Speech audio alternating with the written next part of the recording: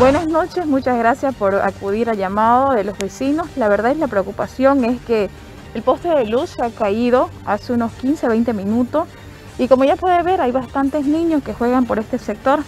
Entonces es un peligro total que tenemos nosotros como madres que ya no hay la seguridad para nuestros hijos. Entonces pedirle a las autoridades que, que están saliendo ¿no? O las que van a entrar, que tomen pues en cuenta esta, esta situación que la verdad es muy peligrosa. Y ahorita con esta necesidad que tenemos de la pandemia no hay recursos, no hay dinero.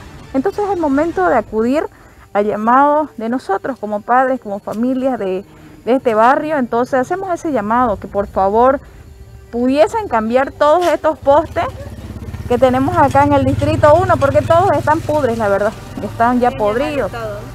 Todos. Y entonces eso le pediría, ¿no? Encarecidamente, mire, acá están los niños, todo el tiempo paran por acá correteando, jugando, y es un peligro. Y no hay recursos sobre todo, ¿no? Y solamente están atendiendo casos de COVID, imagínense.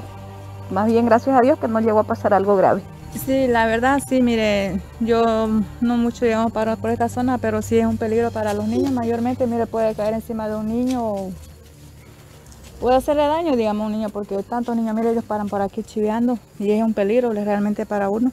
Y yo deseara, como dijo la señora, que las autoridades pues vengan, vean y, ayuden, digamos, para esta zona. Ahorita está oscuro, mire, alumbra por rato y es peligroso.